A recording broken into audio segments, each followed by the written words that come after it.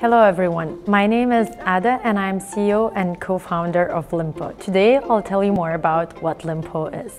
Lympo is your digital fitness wallet that will reward you for your healthy lifestyle achievements with tokens.